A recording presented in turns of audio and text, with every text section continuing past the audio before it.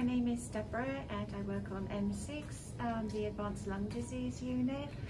Um, I wanted to say why I'm grateful with regard to nursing. I'm First of all, I'm grateful to be at Stanford. It's a fantastic hospital and I love my unit. I, I love my colleagues. We work really well as a team. Um, I love the patients. I, I'm really grateful that I found this vocation, which happened actually after my own cancer treatment, which is why I decided to go into nursing.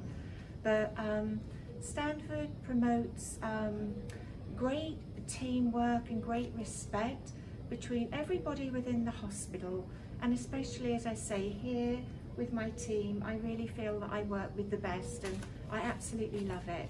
So everybody have a happy Nurses Week.